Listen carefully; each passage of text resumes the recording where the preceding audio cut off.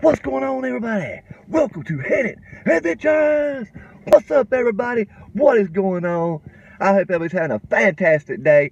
I am here at a spot that used to be the biggest spot in Cleveland County. I mean, huge. It was home to our Walmart and all kinds of stuff. But now it's sad, y'all. It's sad. Let me get my mask up. I got me this thing here.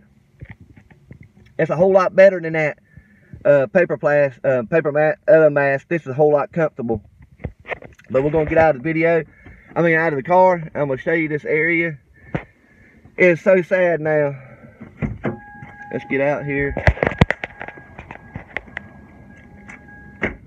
All right.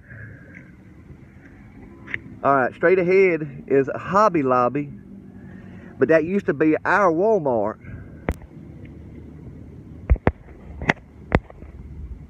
That's Hobby Lobby. All right, then you got one, two, three, four empty stores. Then we got a little store called Bargain Hunt. Then you got one, two, three, four more. You got four more empty shops. And uh, then you got the big old empty store here. It used to be Harris Teeter, y'all. Look at here.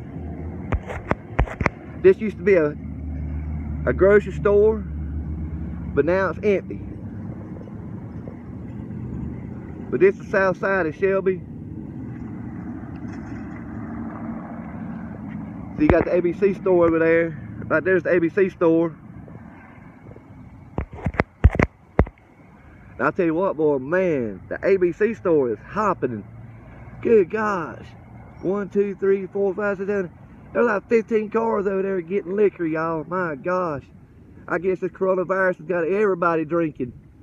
But I want to do this little video right here to show y'all this is the, this is south side of Shelby. This is heading toward where I live. And uh, yeah, it's, it's sad, y'all. All this all this stuff is uh, shut down and closed. It's just but we had the huge new Walmart, you know, but this whole section here used to be happening. Every single store used to be open, but not now. All right, everybody, I'm gonna get back in the car. It is so bad here in Cleveland County. It is like a 100 degree humidity. It is awful, but I wanted to get this video for y'all. And if you ain't subscribed to me, y'all, sub that, smash that button. Uh, I got a lot of stuff coming down the road, and thank you so much to all my loyal subscribers. And this has been me, Tracy, from Hannon Adventures. Come out see me now, you hear?